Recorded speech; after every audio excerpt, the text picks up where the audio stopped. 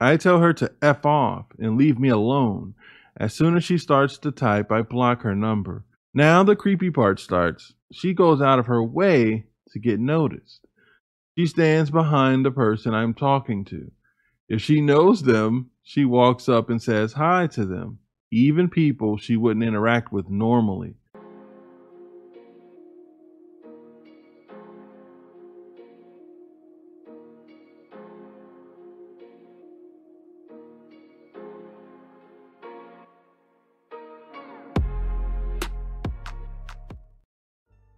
What's going on, everybody? Hope everybody's feeling good. Hope everybody's doing well. We are back with another subscriber email story. Guys, if you want to send in a story, send it to truestorynation at gmail.com. Here, I'll put it on the screen.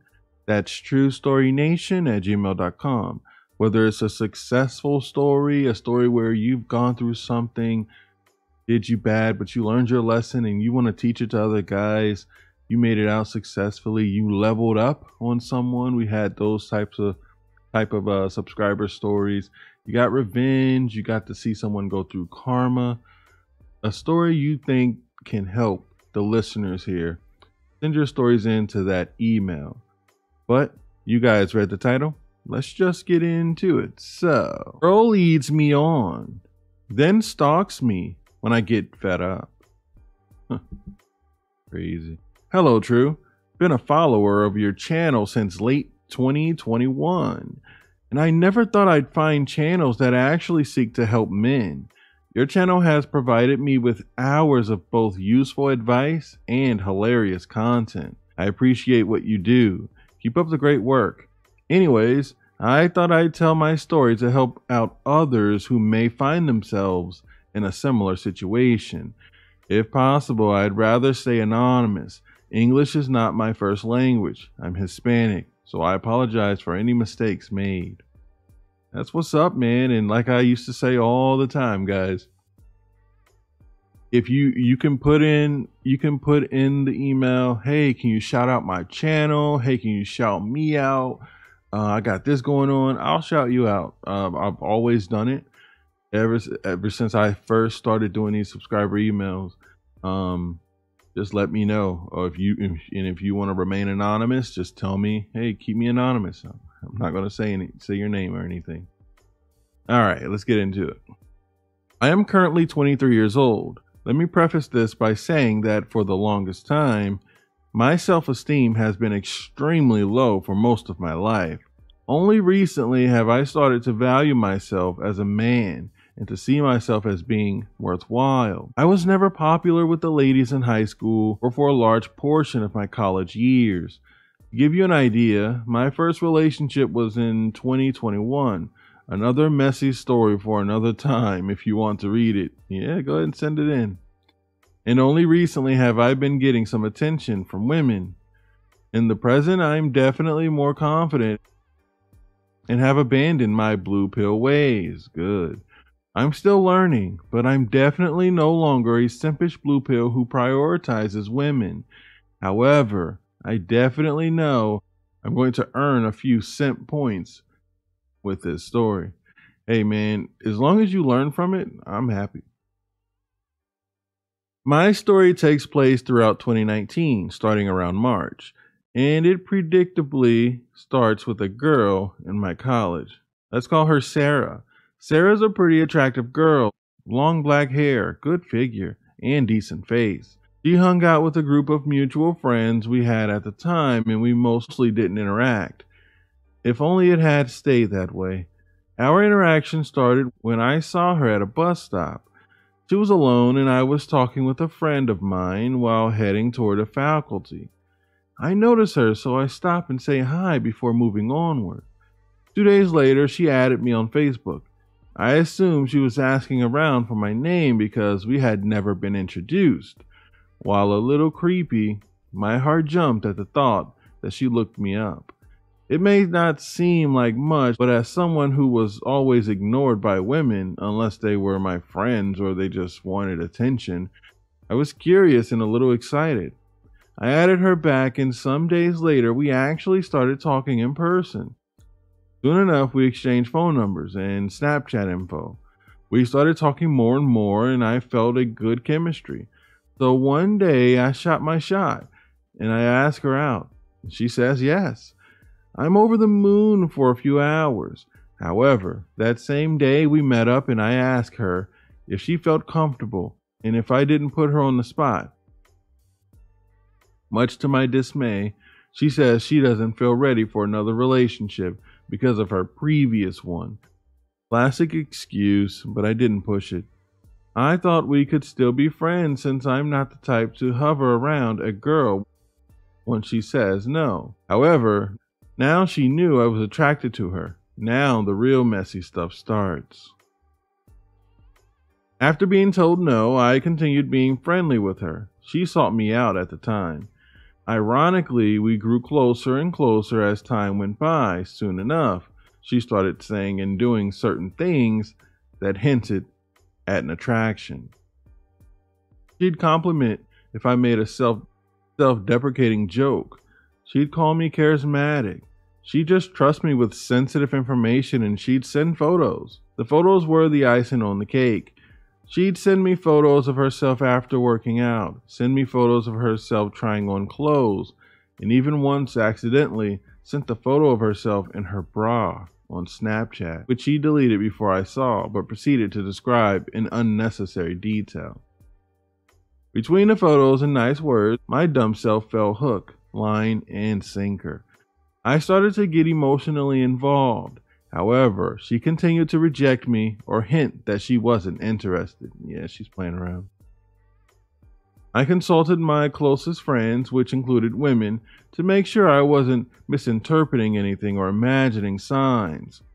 I showed them the text messages and told them about the interactions. They were just as, if not more, confused as I was. They were trying to give her the benefit of the doubt, but by now I'm sure you know she was leading me on. I was in a deep depression at the time. This crap was not helping. Since I trusted Sarah, I made the mistake of confiding in her. I was stupid enough to tell her how deeply I felt and even cried in front of her when my depression got the better of me. I was beginning to lose sleep and appetite over her, and she knew. Worst position to be in. I know. I even once went to a bar near the campus where she was at and got drunk. She noticed me behaving weirdly, and when I was leaving, she held me tight because she didn't want me to drive. That was the first and only time I've, dri- I've driven drunk and regret it to this day. It was self it was a selfish move that put me and others in danger. I somehow got home unscathed and fell asleep eventually. I started drastically losing weight and was much more dour than normal. However, I lit up when I saw her and spoke to her. She noticed me losing weight and seemed to feel guilty, or so she claimed. Stated that she wanted to fix me, said she wanted to see me happy and wouldn't give up on me. I was still a mess, and I admit I was being a whiny bee at times. Even she got angry and told me to man up. I got ticked off at that moment and told her to back off in roundabout way. That my issues weren't something I simply used for attention, she claimed down she calmed down and continued speaking to me. This dynamic continued for some time until there was a sudden new player in the game. Enter a good friend of mine. Let's call him Luke. Luke was my polar opposite. He was confident, energetic, optimistic, charismatic, and he had fairly good reputation. Luke and I hadn't known each other long, but he earned my trust by being a slick talker for treating me like a decent friend. Towards April, I introduced Luke and Sarah, and they immediately hit it off. Since I knew he was a ladies' man, I was asking him to not go for Sarah. He claimed he wouldn't, and since he seemed like a solid guy who valued our friendship, I believed him, stupid enough.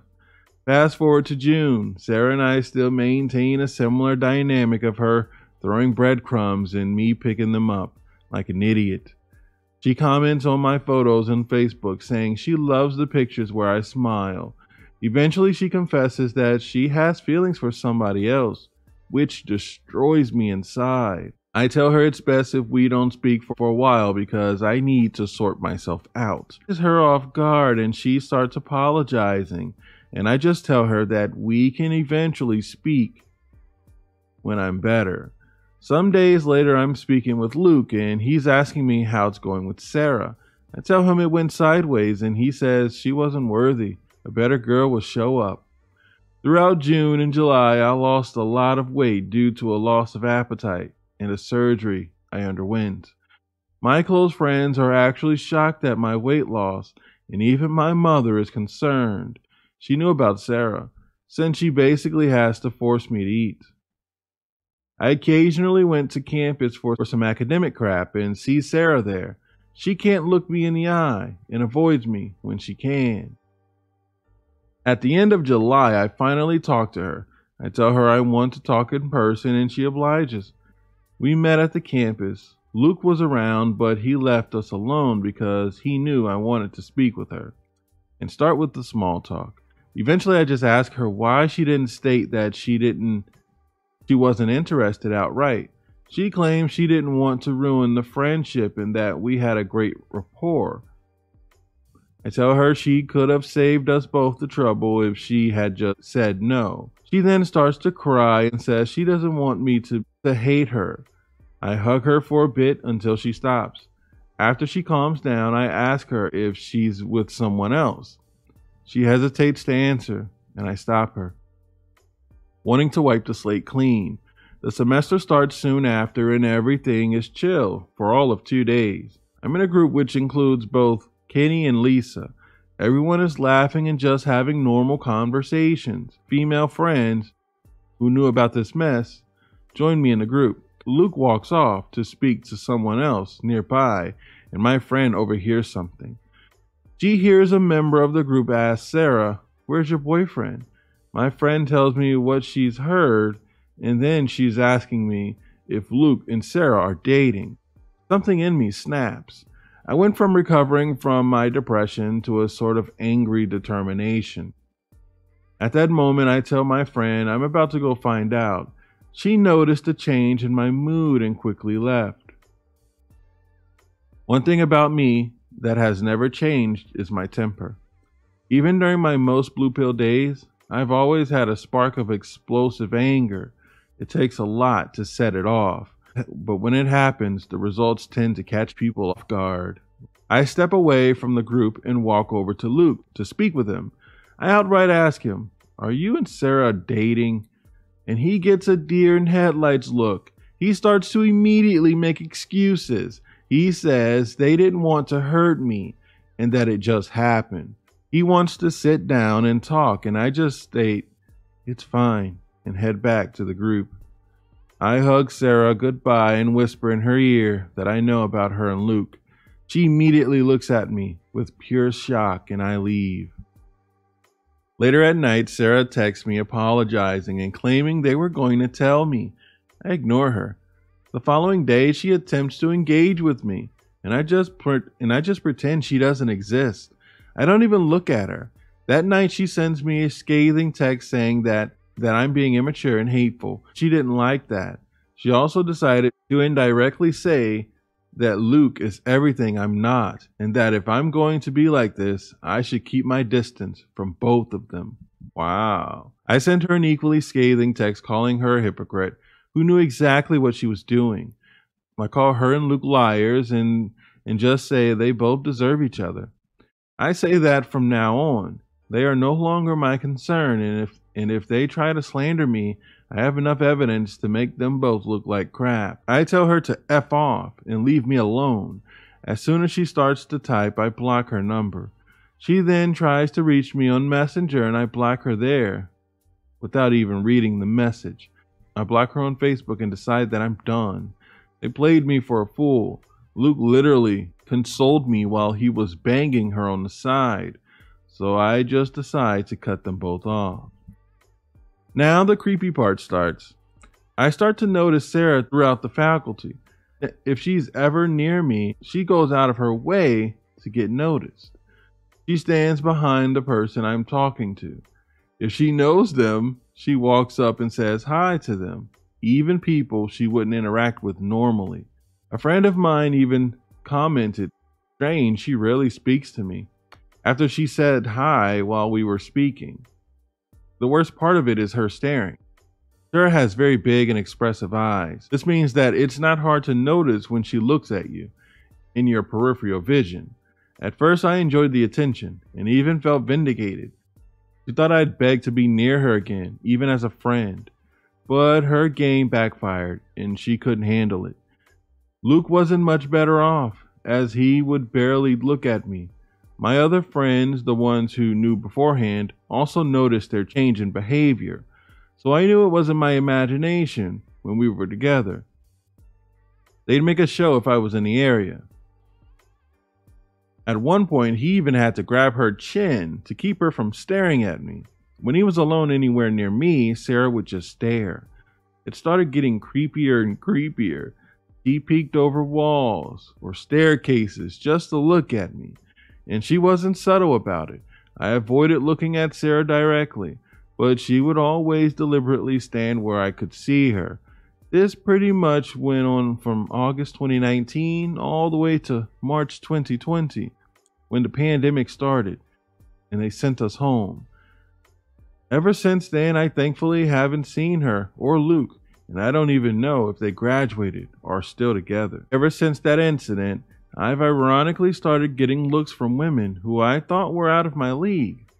Not sure if the incident made me cocky or more confident, I've even had a solid 9.5 out of 10 get nervous in front of me in a good way. I'd catch her looking at me whenever when I was near her. The way she did it kind of reminded me of Sarah, which creeped me out a bit. Eventually, I'd have my first relationship in 2021 and forgot about Sarah entirely. When that crashed and burned, I'd stumble onto your channel, and the rest is history felt glad that there has been millions of guys who had similar experiences, not because they deserve, but because I knew I wasn't alone. At this point in my life, I've been getting looks from women who I thought would have never given me the time of day, and some even gone out of their way to get my attention. In truth, I'm focusing on getting my biology degree in order to enter med school. While I'm not against having fun or another relationship, my studies take priority. There you go. I feel like this mentality I have now ironically gets me more attention, since I rarely even look at a woman due to my focus. Maybe they get curious as to why I ignore them. I figured I'd share my story to help out the brothers in need. Thank you for what you do, True, and keep it up. Men need men need to know the harsh realities of this world and how to deal with them. You are among a few who are willing to dish out the tough love necessary, and the stories plus your commentary always inspire me to do better.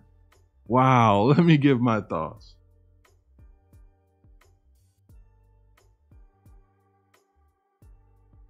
Man, well, thank you. Thank you. Thank you for being a supporter, for following the channel, man, being part of the True Story Nation. Thank you, sir. Look, man, your story, I promise you, people listening, a lot of people have gone through have gone through what you've gone through or currently going through it. Some people probably will never comment and say it. Um, but a lot of people been in your position. And your story is going to help a lot of people. I promise you thanks for sending this story in, man. I really, I really enjoyed it. You learned from it. You're focusing on yourself now. That's how you do it. And um, the whole thing with, you know, man, these girls are interested in me now, and I don't even really give them attention. Like that. That's always that's that's something that that's just interesting to them you know and that's and that's what i feel they're getting with you. You're not giving them a lot of attention. You're not chasing or anything. And they're like why is he not chasing me? Oh I, I, put i put everything out. I i wore this tight this this these tight clothes for him and he doesn't even notice and they want you to notice. But i'm gonna tell you a lot of times and you know a lot of women play games. As soon as you start chasing up got him time to play now I want to play. I want. I'm gonna date his friend. I'm gonna go date this other guy and put him in the friend zone and like don't let don't let people do you like that. And there's a lot of people that'll do you like that. And there's some people that'll there's some women out there that'll get your attention and you'll find out like wow she's actually pretty pretty cool she's a good friend or whatever but just like you said don't ever take your foot off the gas and focus on yourself that is priority because they are fickle very fickle you know they switch up just like that they get bored just like that you've heard all the stories a lot of people are going through the same things. A lot of men are saying the same exact stuff. Come on. Come on. There's got to be some truth. I've been through it. So, um, man, I appreciate you uh, supporting the channel, man, and, and I'm glad. I'm glad these stories have been able to help. You know, I've always said, if it just helps one person, if it just helps one person, I've done my job, you've done your job. If your story, if everybody comments and says, "Oh man, this story was horrible. I didn't like it. I didn't like it." And then one person says, "Thank you for this story. I needed this. This is exactly what I needed to hear." You've done your job. You've done your job. So, uh, guys, if you want to send in a story, send it to truestorynation at gmail.com. Here, I'll put it on the screen. That's truestorynation at gmail.com. I will catch you guys at the next one.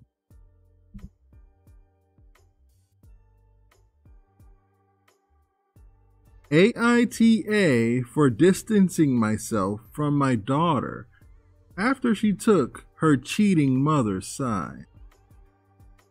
I, a 50 year old male, found out that my wife, 49 year old female, of 20 plus years, was having an affair.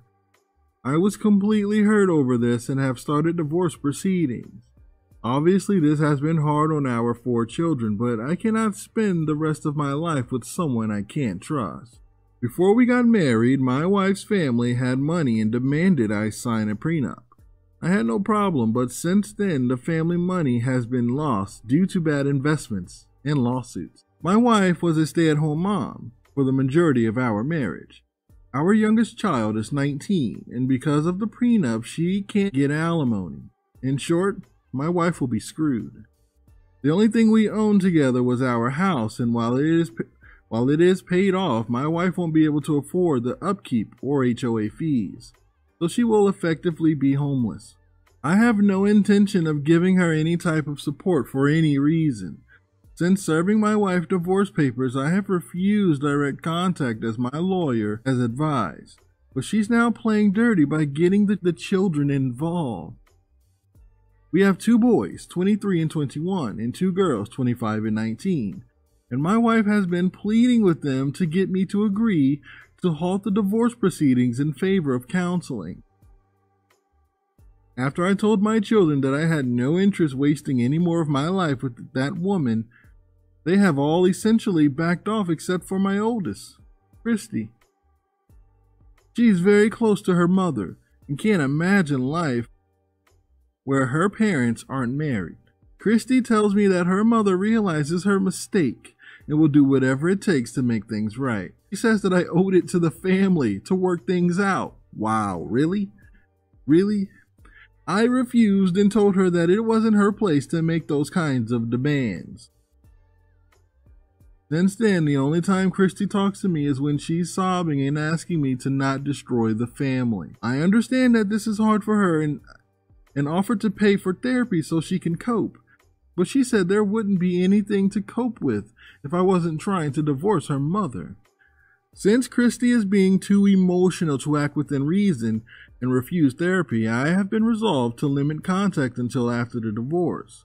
However, my other children are saying that Christy's behavior is getting worse. AITA for taking a step away from my daughter for a while? Wow, and there's an update to this. Let's check out the update.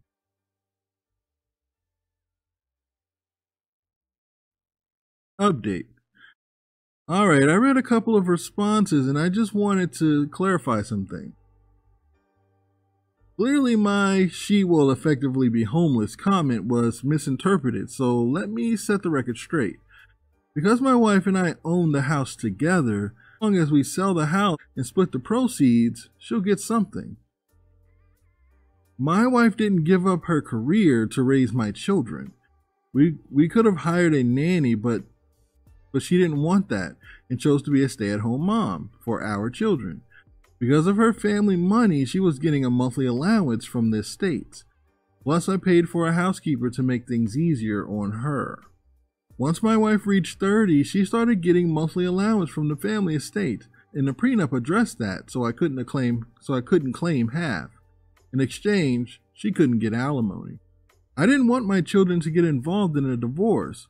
My wife decided to do that, and even brought up the reason why as a form of preemptive strike. I only talk about the divorce when someone else brings it up, which Christy wants to do all the time. I am not abandoning my daughter. I'm just lowering contact with her until the divorce is finalized because she's not letting up on trying to pressure me into taking her mother back and refuses to go to therapy that I will pay for. Also, also the comments asking why my wife cheated is a little offensive. I don't know how that changes anything or that I should care. However, the guy that she cheated on me with was younger, looked like he couldn't be any older than 30, so take that information and do what you will. Edit. Update.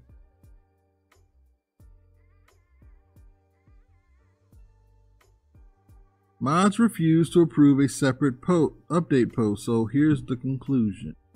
I just wanted to say that I was very grateful to all your kind words and support in how to deal with my daughter. I decided to follow some of your advice and have a scheduled sit down with her to explain that what goes on between her mother and I is not her fault, and that I simply can't ever go back to a woman who deceived me in such a big way. I told her that I tried to be as forgiving and empathetic as possible, but I will not ever tolerate people who who lie with a malicious and selfish intent and try to cut them out of my personal life as much as as much as possible. I was very calm when I said this and tried to be as loving as I could to my child, but it didn't work. Christy ended up breaking down again. And she tried to convince me not to divorce her mother and just forgive her. I refused and in the end went no contact with Christy for a little bit. I only spoke to her again two days before my, my other daughter's birthday through a text asking her to not bring up the divorce since this was going to be the first time my wife and I would be in each other's presence since I filed. I sent the same text to her mother, and I didn't hear anything from either of them. Uh oh. Uh oh. On Jane's birthday, things were a little tense and awkward, but I thought it was going good until my wife decided to be passive aggressive with a speech about how good it is to have family together during important events. Everyone saw through her crap, and my son, Jack, 23, called her out on it and said that she was selfish to bring this up on Jane's birthday. Christy started defending her mother and Jane, understandably upset, revealed that the only reason Christy was on their mother's side for reconciliation, she didn't want the fact that she not only knew about the affair, but helped her mother cover it up. There was a big fight that wasn't going to get resolved right then and there. I ended up leaving and was even more heartbroken all over again. Mm. Mm. Not only did my wife betray me, but my own daughter too. I knew she was closer to her mother than me, and I was okay with that, but this?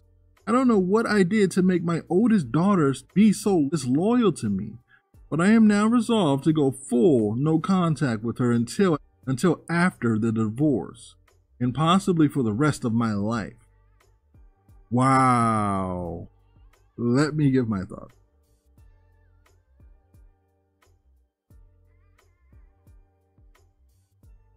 Now, guys, we've read stories where kids or children would know, oh, my mom's cheating. Should I tell dad? Should I tell dad? And for the most part, we're all like, yes, tell him. He's going to hate you. He's gonna, he's not, he's gonna not want to talk to you. He's gonna feel betrayed by you too. And I think you should tell. This, his daughter was just being selfish. Forgive mom, just let it go and don't divorce. I want to keep the family together. You just didn't want dad to know that you were part of this. You didn't want it all to come out. Mm, Mm-hmm. Helping your mom cheat. You think it's cute. You're doing the right thing, sir. Leave this woman. And the nerve. You guys get married in the beginning.